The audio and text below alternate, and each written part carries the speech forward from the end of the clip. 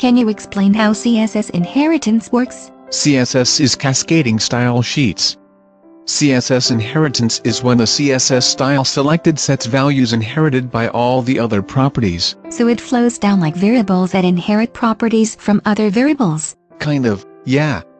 But when you look at the properties for the background on the web page, the color doesn't say blue, but inherited. That's where the CSS style sheet determines all the details of the web page. Not all of them, but many of them.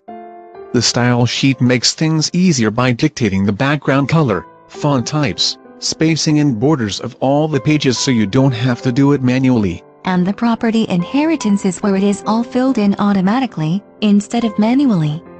If only the legal software we try to use would be that easy. No, lawyers won't let you make it easy, they make sure the law is complex, to ensure their continued employment. It is interesting that IT developers did not do that. Web developers pushed standards in IT and internet design to simplify their lives, to make websites and their interfaces as plug and play as their Ethernet cables. So that's where cascading style sheets came from. CSS is mandated by the HTML5 standard, which gets rid of Silverlight and Adobe Flash to play videos.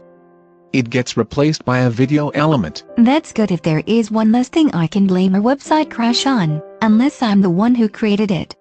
What controls the elements, since I know they can change? Cascading style sheets determines which properties can modify an element, the three being importance, specificity and source order. The style sheet gives each one of these weight, and then modifies the style based on that. I know the properties can be modified based on the type of device you're on, reducing image sizes, and increasing text sizes when it realizes you're reading the page on a mobile device. Not all properties get inherited.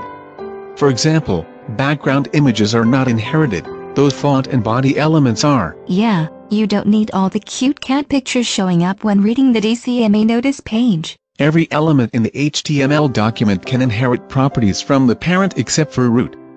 Root elements can't inherit because they don't have an orphan. Root level everything is the odd one out in web design. Then again, root level is all-powerful, because it doesn't have any parents telling it what to do. What defines the importance of the style sheet element, aside from the O, I love that shade of blue. Importance of an element settings can come from the browser's default style sheet, user's browser options and the CSS provided by the page. You might think size 10 font is perfect on that page, but if I demand bigger text for readability, I get it.